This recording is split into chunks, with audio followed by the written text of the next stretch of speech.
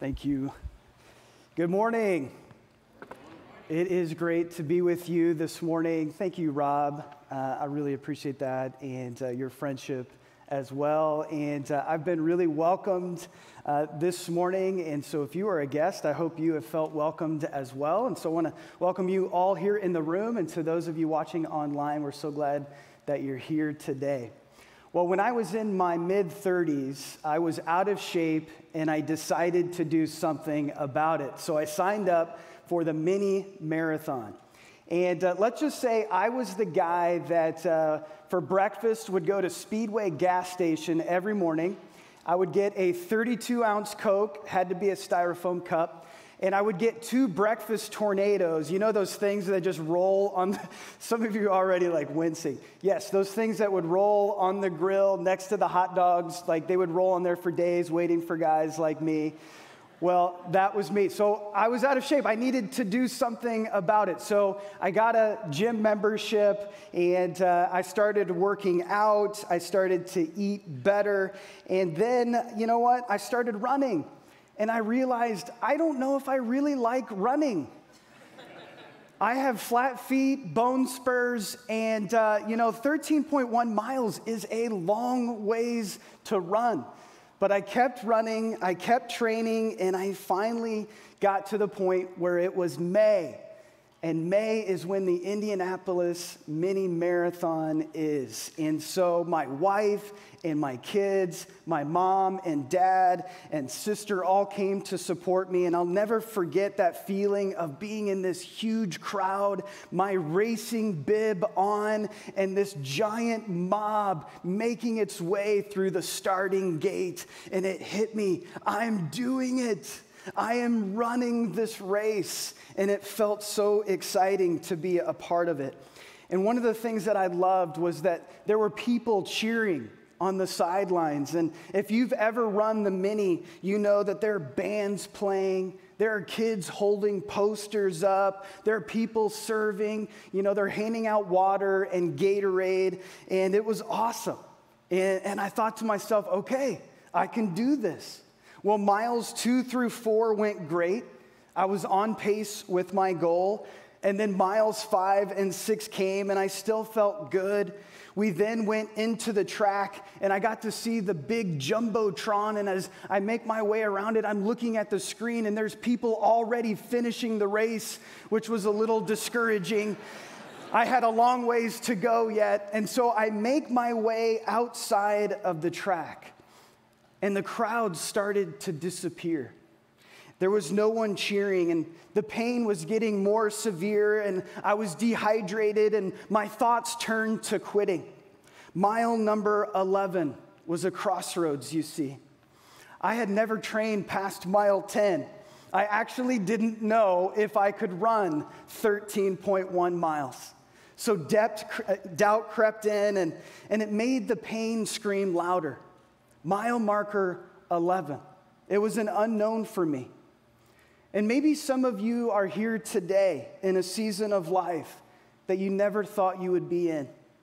Maybe some of you watching online or listening to this, you never thought this season of life would come at you the way it has.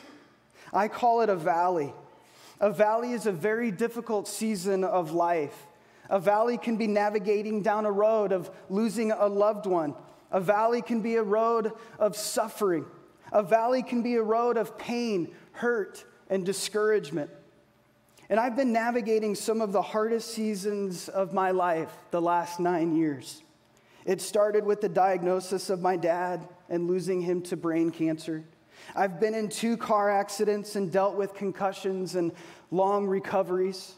We've experienced church hurt, unemployment, living in the basement of some friends for six months, a pandemic, and dealing with such hurt and discouragement that I question if God truly cared. Yet, what if I told you that the only way out of the valley is through it? What if I told you that the only way to finish the race is to keep running, even when everything in you says to quit and to give up? What if I told you that my life has been transformed by the faithfulness of God through the valley? You see, in the Indy Half Marathon, I made the decision not to give up. And pretty soon the crowd started to reappear again at mile marker 12. They were cheering, on, cheering me on, and, and I realized I had one mile left. And the last quarter mile turned from pain and struggle to joy and excitement. And I could see the finish line. And when I came across that line, I was so excited and, and flooded with emotions that I did it. I accomplished my goal. And there I am running, and I've never run a mini marathon again. But, but I did it. I, I, I accomplished one, right? And this life is like a race. And just like running past mile marker 11, we go into valleys and seasons of life that we've never had to endure before. We're running into the unknown, down roads we've never been, seasons of hardship, loss, grief, disappointment, and discouragement. And maybe that's some of you here today. You're down a road that you've never been on, and, and it's confusing. It, it just disorients you. You have doubts if God cares. You've questioned everything that you've ever known. And a verse for me that meant a lot during my valleys came from Proverbs 3 5 through 7. And, and if you have um, your Bible, you can turn to Proverbs 3. It's going to be up on the screen. But this really would be a good verse this week just to come back to and meditate on. This is from the message version, and this is what it says Trust God from the bottom of your heart. Don't try to figure out everything on your own. Listen for God's voice in everything you do, everywhere you go. He's the one who will keep you on track. Don't assume that you know it all. Run to God.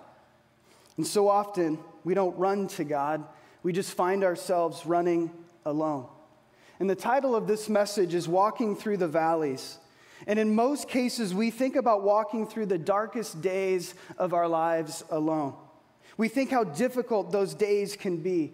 However, what I learned is that I didn't walk through the valley alone. Even when I didn't recognize God at work or what He was doing, I discovered that God was right there with me.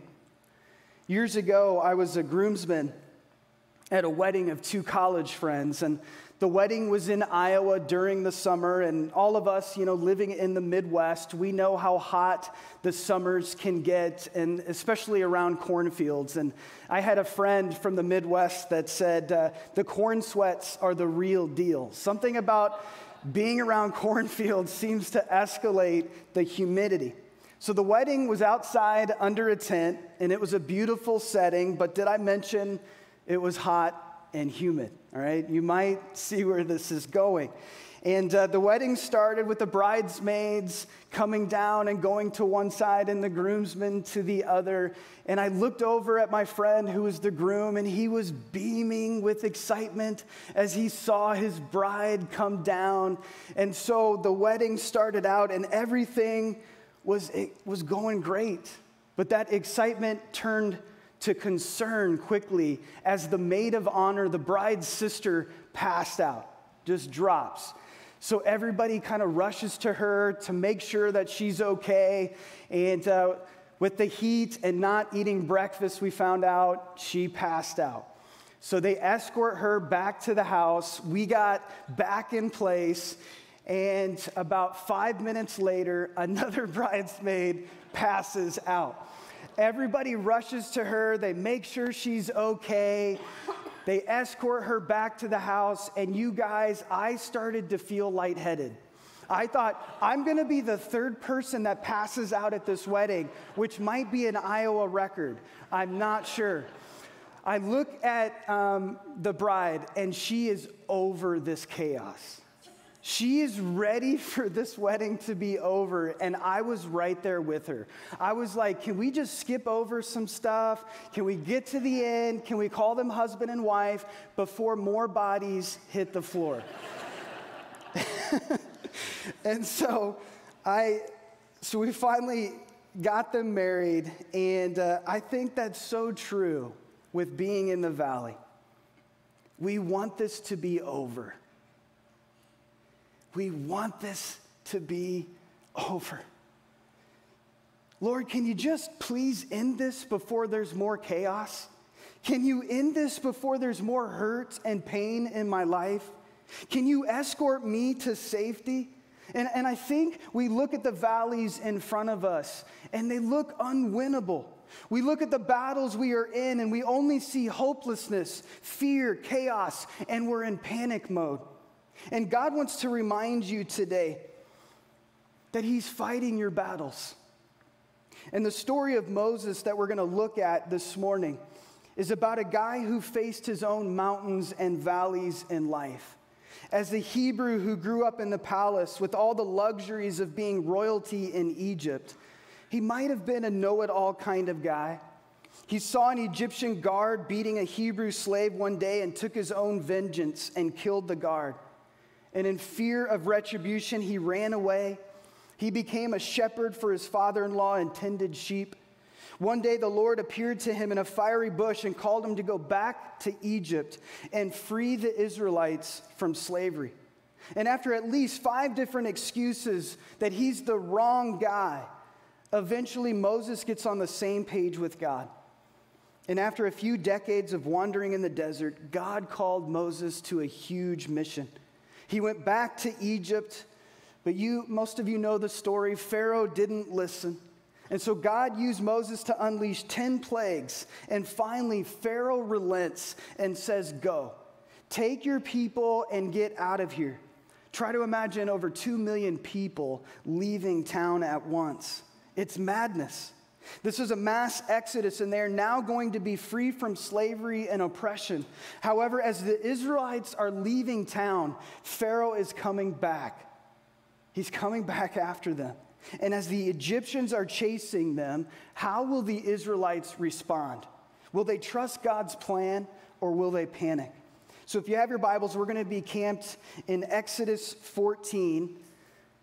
We're going to start out in verse 10. It's going to be up on the screen as well. Exodus 14, 10 through 12 here. I'm going to read. This is the New Living Translation. It says, As Pharaoh approached, the people of Israel looked up and panicked when they saw the Egyptians overtaking them. They cried out to the Lord and they said to Moses, Why did you bring us out here to die in the wilderness? Weren't there enough graves for us in Egypt? What have you done to us? Why did you make us leave Egypt? Didn't we tell you this would happen while we were still in Egypt? We said, Leave us alone. Let us be slaves to the Egyptians. It's better to be a slave in Egypt than a corpse in the wilderness. I see the Israelites do two things in this passage. Number one, they panicked, and number two, they complained. When valleys hit in our life, provoked or unprovoked, it's easy to panic and complain. I think that's human nature. Christian Bovee said, Panic is a sudden desertion of us and a going over to the enemy of our imagination. My wife and I laugh about how she can be a doomsday thinker sometimes. We, uh, we're at the beach and we could be eaten by sharks. We're running to the car in the rain and we could be struck by lightning. We're swimming in a lake and we might get the brain eating amoeba. You get the picture. Maybe you can relate to that, especially all you Enneagram sixes out there. The reality is, we so often let our imaginations and what ifs take over. What if it's cancer? What if I can't get a job? What if we can't pay our rent? What if my kids don't make good friends? And the enemy wants us to play that game over and over and over and steal our peace. Lysa TerKeurst said, What makes faith fall apart isn't doubt, it's being too certain of the wrong things. So, what are the wrong things that we get certain of in the valleys? A few of them are the lies of the enemy, letting fear paralyze you, thinking that this season will never end, thinking that I'm alone in this, having thoughts that I have no hope. Jesus referred to the enemy as the father of lies. You see, lying is what he does. He wants you to have fear and rob you of peace. He wants you to believe you are going to be in this season the rest of your life. He wants you to believe that you are alone and that you have no one that understands. He wants to make you think you have no hope. He not only lies, but he will give you half truths to create confusion. Jesus says this in John 8 He was a murderer from the beginning and does not stand in the truth because there is no truth in him. When he lies, he speaks what is natural to, to him, for he is a liar and the father of lies and half truths. The truth is, Satan was defeated at the cross. That's what's true. In Colossians 2 13 through 15, Paul describes the defeat over the enemy in a victorious way. Paul says this You were dead because of your sins, and because your sinful nature was not yet cut away. Then God made you alive with Christ, for he forgave all our sins. He canceled the record of the charges against us and took it away by nailing it to the cross. In this way, he disarmed the spiritual rulers and authorities. He shamed them publicly by his victory over them on the cross.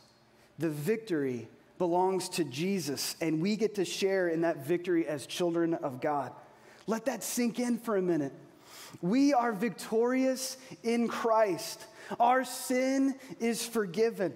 We have hope that is only found in Jesus. There's nothing that we can ever do to earn it, to deserve it, but it's the overwhelming love of Jesus Christ to you and to me. That's who our God is. And that is truth that we have in God's Word. You see, God is still at work, and our story is not over. Your story is not over. And knowing this truth, the enemy does what he does best he lies and he twists the truth. And even though he can't change what Jesus did on the cross, he can absolutely lie to us in an attempt to keep us from fulfilling our God given purpose and rob us of peace. When I was in student ministry, I took a group of students to Big Stuf Camp. I don't know if you probably did that too, Rob. And uh, it was in Panama City, Florida. And so I had two vans, two minivans in our caravan, and we drove down to Atlanta Christian College because I wanted to save a little money. So we stayed at Atlanta Christian College. And uh, on the way there, I got lost. And uh, this was back in the day before your phone had like GPS maps, the old MapQuest, right? You print out Map, MapQuest and the directions were right there. Anyway, I'm using those and I get lost. I'm in Atlanta, so I pull over at a gas station and I quickly realize this is not a stop that I want everybody getting out. So I go and tell all the vans, hey, listen, let's stay in. I'll find out where we're at. We need to gas up. So I gas up. I see a guy peeing on the wall. I'm like, yep, this is not a good spot for us to get out at. So I'm, I gas up. I then walk to go get directions, and a guy comes up to me asking me for money. And when I hesitated to pull out my wallet, he pulled out a knife. And all of a sudden, I was in panic mode. I pulled out my wallet as fast as I could, and I had a, a $100 bill in there for trip emergencies. You could say this was a trip emergency. So I, I gave him a crisp $100 bill. He took it, took off, and so did we, okay? We got out of there as fast as we could. And it's amazing how you forget about everything else when fear for your life and others come over you. And this is what the enemy wants to do in our life. He wants to rob us of peace. The enemy wants to rob us of joy. I saw a great shirt uh, a friend of mine had on the other day, and it said, Not today, Satan. And it might sound cheesy, but I love that. We need to stand up to the enemy and say, Not today, Satan. Steven Furtick says God's great love is the reality that towers three feet above fear and says, You mess with him, you mess with me. And that's what God does to fear. He kicks it out of our hearts, and his peace and love dwells instead. We have to move our thoughts to God's truth. And that is what sets us free from worry and fear. Not today, Satan. You have no power over me. Let us remember who our God is. He is greater than your fears, He is bigger than your worries. Jon Acuff said, Fear is a feeling, afraid is a choice. When fear shows up, I feel it fully, but then I have the choice to stay in it or choose hope. Some days I have to choose it 1,000 times. Let me say that again. Fear is a feeling, afraid is a choice. In the valleys, we tend to only see the obstacles in front of us and panic. Something that we need to focus on is the truth of God's word. Focus on his promises for our lives. Focus on our incredible God who is fighting our battles. And like Jon said, some days we have to choose it a thousand times. Remember that you don't have to have everything figured out right now. You don't have to have all the answers. And I, I know when I am in my valley, to know that is really comforting because so often I want to have everything figured out. I want to know when the end is near. I want to have the answers. But sometimes we just need to understand we might not have all the answers. You don't have to feel alone because you're not alone. God is encouraging you to focus your attention on Him and not your circumstances or the obstacles in front of you. So let's pick back up and check out what happens in Exodus 14, 13 and 14. It says, But Moses told the people, Don't be afraid. Just stand still and watch the Lord rescue you today. The Egyptians you see today will never be seen again. The Lord Himself will fight for you. Just stay calm. I love that sentence. Just stay calm. It's three words that can be life changing for us. So let's say that together. Just stay calm. You ready? Just stay calm. Louder. Let's go. Just stay calm. The people looked around, saw their escape blocked by the Red Sea. They saw the Egyptian army coming in hot after them. They yelled at Moses, How could you do this to us? We were better off in Egypt. And Moses saw the chaos around them, the people yelling at him, and he told the people, just stay calm. What about your life right now? Everything in me wants to make a way out of the valley as fast as possible while panicking and complaining all the way through. I didn't deserve this. Why did this happen? God, how could you? This isn't fair. And God tells us to stop and stay calm. He says, I've got this. There is a condition to God fighting our battles. He tells us to stay calm while He fights. While we rest, He carries the weight of those heavy feelings. If you want peace in your life, it means that you'll have to trust that God is more than capable of taking on your circumstances, taking on the weight that you feel all of the things that are going on. God says, Trust me. Let me carry it. Let me take it. And if you believe God is the God of the mountain, then believe He is the same God in the valleys.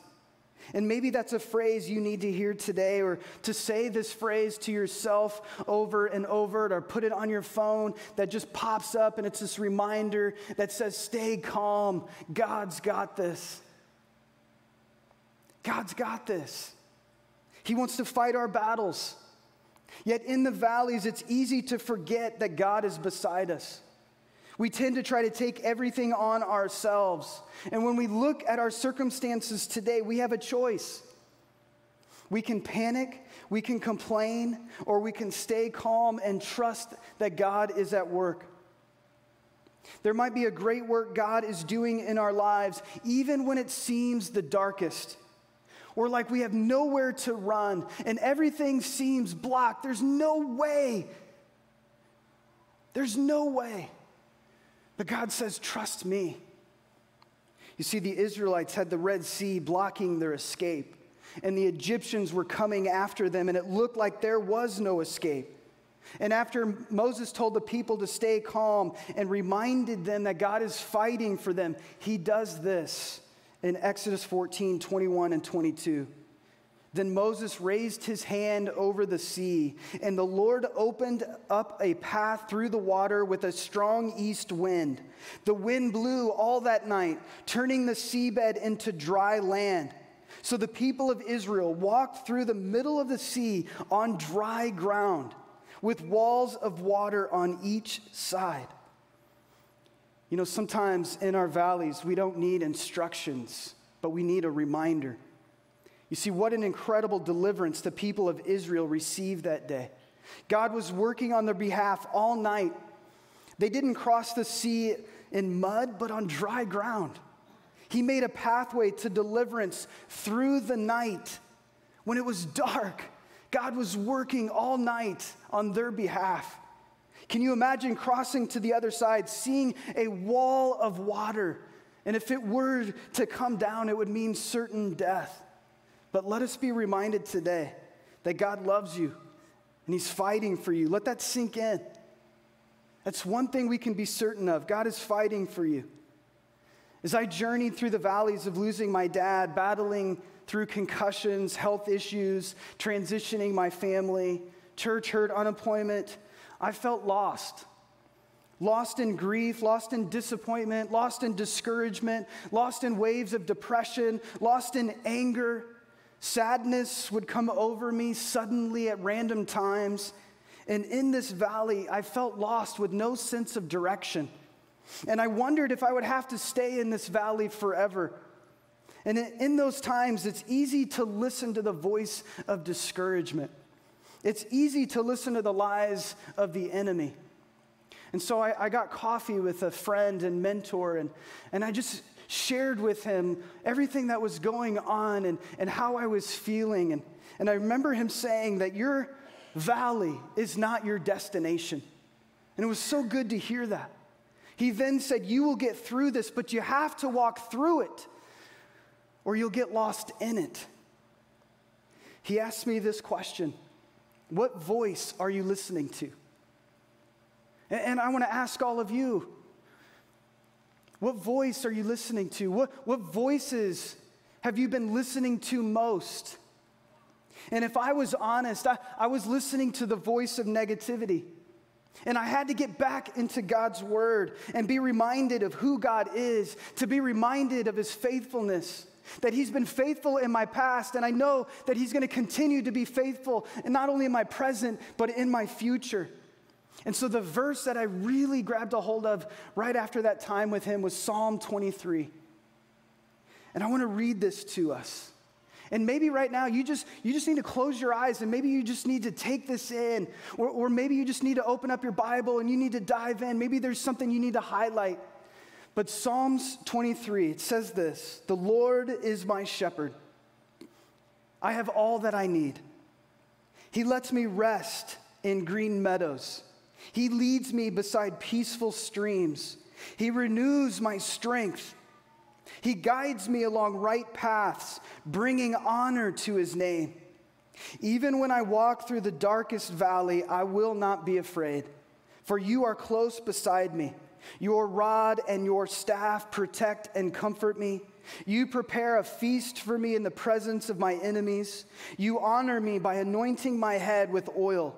My cup overflows with blessings. Surely your goodness and unfailing love will pursue me all the days of my life, and I will live in the house of the Lord forever. The valley is full of darkness, but we have a shepherd who never leaves us. We have a good shepherd named Jesus who doesn't want us to get lost in the valley, but to listen to his voice and follow him. He wants to walk with you through every moment, every disappointment, every mistake, every hurt, every joy, and every valley. He knows your deepest thoughts and worries. And He is a God that cares about the details of our lives and wants to work them out for our good. Years ago, some Native American tribes had a rite of passage. And when a boy reached the age of 13, the boy was blindfolded, led out into the woods, and left to spend the night alone. His courage would be proven if he could sit and listen to the frightening sounds of the night without removing the blindfold. And when he felt the warmth of the morning sun, he was allowed to remove the blindfold to find that his father was just sitting a few feet away. Unknown to the boy, his father had been by his side throughout the night, watching over him and protecting him from any real danger. And that's our heavenly dad, too. He's right beside you. He sees you in whatever circumstance you are in right now. And we are not meant to stay put in our valleys, but we are meant to walk through them. And I'm so grateful that I wasn't alone, that I had a good shepherd named Jesus who was with me every step of the way, even in moments when I didn't feel him, when he didn't respond, he was there. And friends, maybe some of you in this room or watching online, you need to hear this. Don't give up. God is with you. This season will not be forever. We have an amazing God. And it's a testimony that I'm on this stage here before you today. It's only through the faithfulness of God. And so, friends, may we be encouraged that our God walks with us and we are never alone. Let me pray. God, thank you for who you are, for your goodness and your mercy, and they follow us all the days of our lives. And God, some of us in this room might be walking through some dark valleys in life right now. We might have been walking through a lot of dark valleys, and maybe some of us feel alone. God, I pray through your Holy Spirit, through your word, that we know without a doubt, God, that you're with us. You're encouraging us right now. That you're going to use all that we've gone through and been through for good. That you're going to see good come from it, and that we can be uh, sharing our own testimony to others and to give others hope even when they're walking through valleys. But God, may we run to you May we listen to your voice. God, thank you for your love, for your grace. It's in Jesus' name we pray. Amen.